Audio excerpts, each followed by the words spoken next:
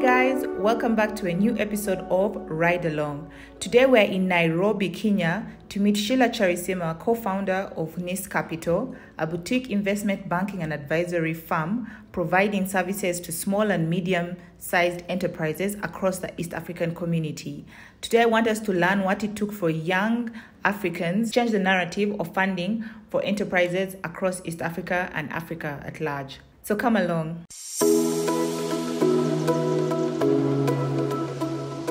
Hi guys, welcome to a new episode of Ride Along. Today I have with me a friend of mine called Sheila. And Sheila, you're welcome. Thank you. and today I invited Sheila here because um, she's one of the young people who are doing some amazing stuff as a company founder and whatever. Do you want to introduce yourself? Anything you want to say about yourself? Sure. So my name is Sheila Kyarisiima. Um, I'm one of the co-founders of NISK Capital. We are a boutique financial advisory and investment bank. Essentially, what we do is we work with small and medium enterprises to raise capital.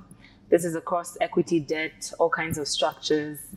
Um, we essentially are working across East Africa. So our main headquarters is in Nairobi, Kenya, but we service clients in Kenya, Uganda, Rwanda, and Tanzania.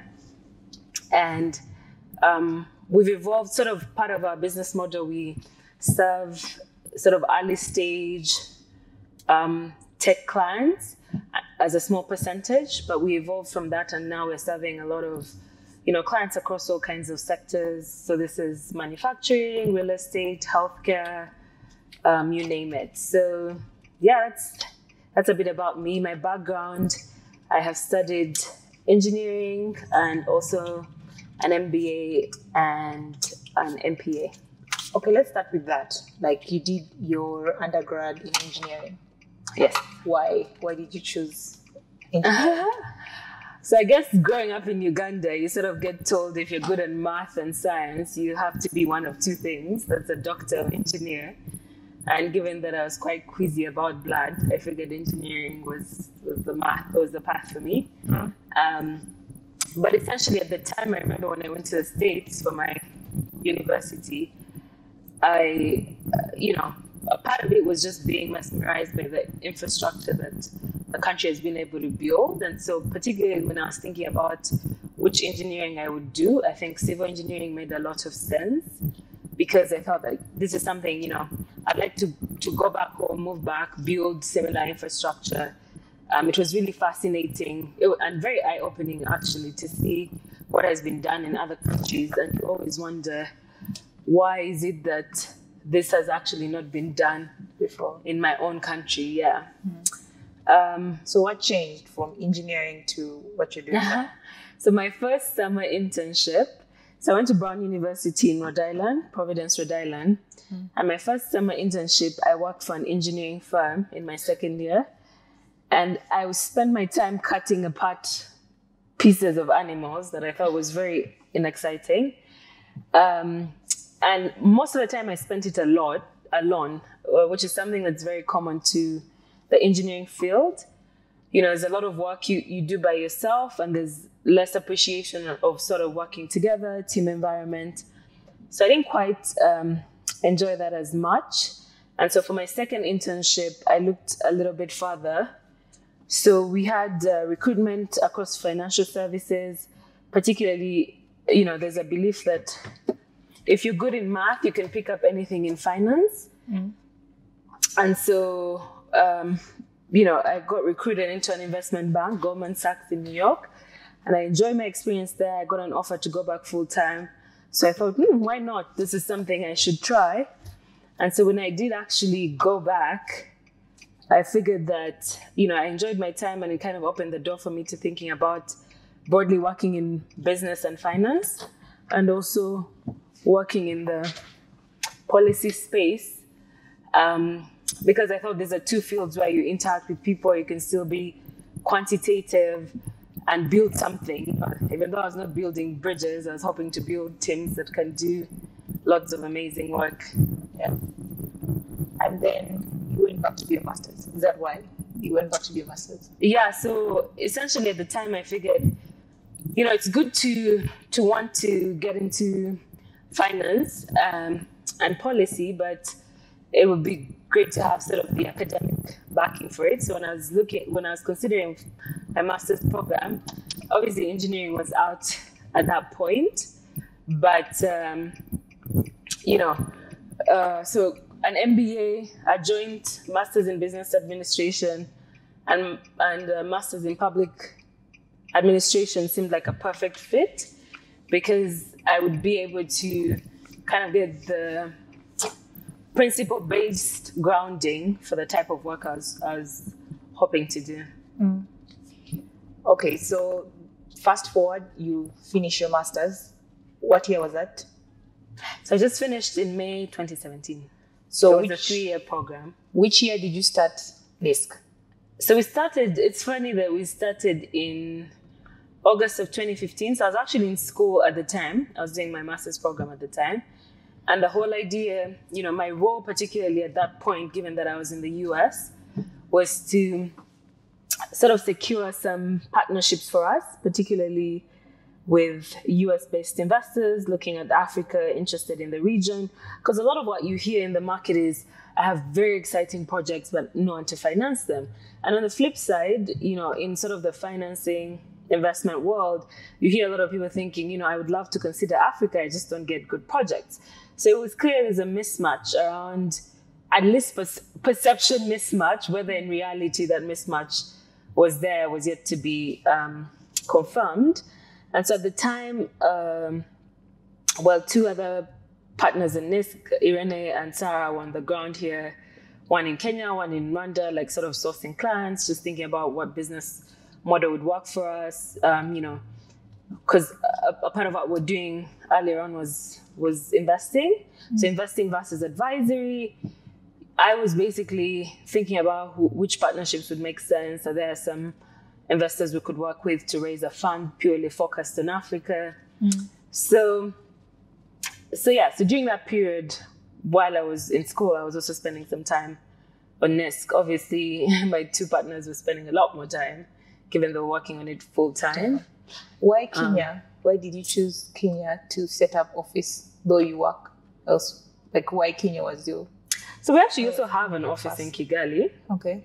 And they were kind of simultaneous because at the beginning when it was just two people irene was seated in nairobi sarah was seated in kigali. Um, but there was two things. Kigali was a market um, one of the partners knew really well and also a market where you actually needed to be physically present um, just to walk with the clients through the, the type of product and service you'd be giving them and also um, what the expectation would be from the side of the investors or lenders. Now, why um, Nairobi? Nairobi makes sense from the financing side. So it's the center for all things financing. So if you are, you know, if you're in the financial services world, for East Africa particularly, a lot of shops set up here first. Um, it's just given the size of the economy and the positioning that the country has in terms of a skill force, and in terms of, in terms of their own projection vis-a-vis some of the other countries. So we thought it actually made sense for us to have a presence here, um, particularly to connect on the lending side. Because again, if you think about kind of what we do, we're bringing capital together with people and on both ends of it you know you have the people looking for the capital and the people with capital so on one side it's finding the clients but on the other side it's also finding the investors How has it been since you started, like in terms of growth and in terms of opportunities you found here in East Africa since you started? so it's been it's been a the beginning was quite a whirlwind to be quite honest. Obviously when you a lot of the a lot of what happens in our business is that you need reputation is everything. And um, having a network is everything. Now when you start out without a reputation without having fundraise for a single person it's um, it can be challenging to kind of get people to trust you and to get people to sign you on. Um, so where we started from in 2015 we've had you know th- there's been a lot of growing pains in certain in certain areas in just like thinking about our business model and thinking about who we finance how we do it which partnerships we create but also, I mean, you can see the opportunity. You know, you can see the world of opportunity. There's a lot of good businesses here that are truly capital constrained, and also just the cost of capital in the market is much higher. So if you're able to source somewhat cheaper financing, if you're able to source better structures, mm. the thing is what does get around. So after our first few deals, basically we've grown from people referring other clients to us, which is like the best way to go. It's a vote of confidence. Um, and so we've been we've been pretty happy about how that has been going so far. Mm-hmm. Um, of course, there were some challenges along the way. We've had some, you know, there's sometimes you work with investors that turn out not to be who you think they are, uh, or turn out not to be legitimate. I think managing client expectations and ensuring that you're on the same page in terms of what what they need, what you're getting, is also very important. Um, and so you know, it's been it's been quite a journey for us, but I would mm-hmm. say that everything that we've learned from the first time, we just keep iterating and improving on it. Okay. Uh, before you go, I just wanted to ask, like, on a personal note, what are your kind of personal goals moving forward? Because um, you went, you did your masters, you started in the career you want to do, but what is what does the future hold for you? So personally, um, so I'm thinking about right now. I'm thinking about things in sort of five-year time frames. I guess I think there's still a lot of work to be done at NISK in terms of opportunities. Um, I would really like. I think some of the structures that we've been able to do most recently are actually structures that had not yet been done in this market. There are structures that exist in other markets but have not been done from a financing perspective in this market. Mm. And so we've actually been thinking about ourselves as sort of um, market creators in some way, market shapers, just being really innovative about the solutions, the financing solutions that we can give our clients. And so from that perspective, I'd really like to grow in that space, within the finance space in East Africa, to continue to do that for some time. I am also quite keen on being an operator at some stage. so, what's an operator? You know, actually running a company, because basically what I spend most of my day doing mm. is looking at all kinds of businesses, identifying strengths, weaknesses, growth areas, and then figuring out how to finance them, looking at their numbers. Mm. So it gives you an interesting breadth of, you know, what you can, what you can potentially do um, in terms of actually running your own company. Because yes. at the end of the day, as an advisor, I give advice. Our hope is that the client takes the advice, which most cases they've been doing. But when they don't, we're stuck with our own advice, right? So sometimes mm. you do see a business and you're like, it will be really good to run that business. Mm. You get experience advising across businesses because you see best practices in different um, in different areas, and you you just think about how you could also do it. Um, so I think at some point I'd want to transition from sort of this advisory role to an operator role. Mm. Um, in the so that's sort of my short to medium term goals. I think my long term goals. I'm very interested in policy. I studied it for a reason. I think there's a lot you can do when you work in the public realm. Mm. And I hope to transition to an organization that has sort of um, whose impact is much more or like a national or regional scale. Yeah, so maybe something national, maybe something regional, maybe something global. Yeah. Um, but whose mandate is is quite broad and more also in the policy space. So I do think about, you know, at some point transitioning into a career in in in policy. Um, and so we'll see we'll see how that pans out what advice would you give to someone who's watching and either is in your similar field or is just what it takes to kind of have this idea to start your own company push for it i don't know what kind of advice would you give such a person so i think i would tell them i mean it takes a lot of grit there's some really really hard days um, you know, at some point we just had a really disappointing experience with one of our prospective investors that was either going to make or break NISK. Mm. And those are the kinds of experiences you have to think about how well have I grown my company? How well can I continue to grow it to withstand them?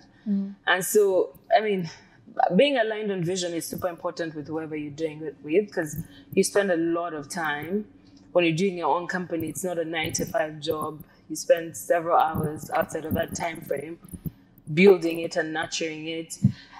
Um, thinking about talent for us, like our talent is key. I mean, really, our business, intellectual property is is very much um, sort of our talent and what what we're able to do, what we're able to structure. And so recruitment has been very close to my heart. Getting a team that I'm confident um, can perform the task at hand, that I'm confident I can grow into a role. That has been it's been a challenge in the market, but it's not been impossible. And so it's something that I've had to think a lot about. So that's something I think people, you know, sometimes people overlook HR, uh, but I think it's extremely important, and it's something you need to really think about who you're building around you because they're the ones that can take your company forward. And um, so in the beginning, I think you just have to think about how much grit you have to push whatever idea you have through. And then I think as the company grows, you need to think about how you let go of some responsibilities, allow other people to take them on, and how you're nurturing them to also take your company to the next level. Okay. Um, what would you say, uh, I don't know, people or if you have mentors who you look up to and why? Ah, Just one person. It can be someone you know personally or someone you don't know, but you have followed their career and you kind of adore them or something. Ooh, um, I don't know if I can. Uh, There are many. Yeah, it's tough to narrow it down to a person, but I think I can talk about sort of qualities I I aspire to and I admire. I mean, I've seen people recreate themselves in m- multiple careers. So the idea that actually, you know, if if you have a certain set of skills, you can use those skills to do. You know, besides obviously, if you haven't studied medicine, don't go cutting up people. But you know, But is there no in particular who you've seen do that and you're Uh, like, that was So I guess so. Business school like, exposes us to a lot of entrepreneurs. I would say anyone like we we kind of looked at companies all the way from you know giant companies like the Microsofts of this world or the Facebooks of this world and how they created them, and obviously the personalities behind those are extremely powerful. Um, I mean, I've been inspired by female leaders in business. Um, I mean, I look at like Indra Nooyi with her, you know, what she did with Pepsi as a colored woman rising to an American corporation of a Fortune 500 company, um, or Sheryl Sandberg. I mean, so there's a lot of figures you study, and so for me, it becomes tough to think about a name per se, career-wise, particularly. Um, but then there's also like when I think about sort of just the general trajectory of, of the career I'm aspiring to. But then I also think about um, sort of just people who have lived their their lives with with vision or mission. And I think most you know, most recently for me coming coming out of the States, obviously the Obamas was some, you know, what people you aspire to because they have done incredibly well for themselves, but they've also like just managed to live their life with with a mission. Yeah. So I, I guess I mean I still have not answered your question with one person, but I think it's because I don't look up to one any one person and say like this is whose path I want to follow. I think I Mm. get I draw inspiration from for more than one person? yeah from lots of different careers, different paths. Okay. Uh, Thank you so much for joining us on this episode of Ride Along. I hope you have learned something. I hope uh, you have picked something from this interview. Um, leave a comment in the comment section. Uh, questions you'd have for us, uh, for me, and for Sheila as well. I will put her details of NISK in the comments in the in the description. So thank you for watching. Bye. thanks. Bye bye.